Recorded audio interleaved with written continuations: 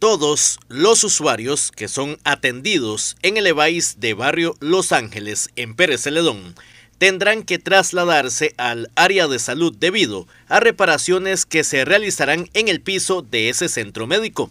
Todas las personas que les corresponde el EVAIS de Los Ángeles deben de venir a hacer, este, bueno, a sus citas que ya están programadas, porque ese es uno de los EVAIS que tenemos prácticamente las agendas completas, eh, dos, tres meses ya adelantadas, entonces vamos a atenderlos aquí en el área de salud, en la sede. Dentro de la planificación que conlleva este cambio está un cierre programado para el viernes 29 de septiembre tenemos que sacar a, todo el personal y por el, por el, ruido y el polvo que se va a hacer del cambio de piso, tenemos que hacer un traslado. El día 29 de septiembre, el viernes 29, va a estar completamente cerrado el no vamos a dar ningún tipo de atención.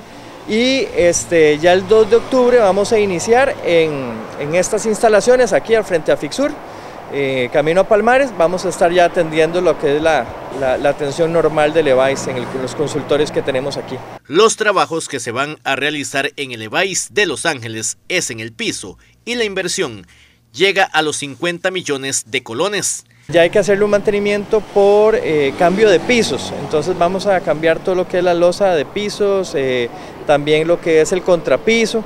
Entonces de esto va probablemente a, hacer algunos cambios que tenemos que hacer de traslados, eh, porque hay que sacar todo el inmobiliario, tenemos que sacar todo el personal y trasladarlo. Entonces, sí, es una inversión grande, es una inversión de 50 millones de colones que vamos a hacer en ese país.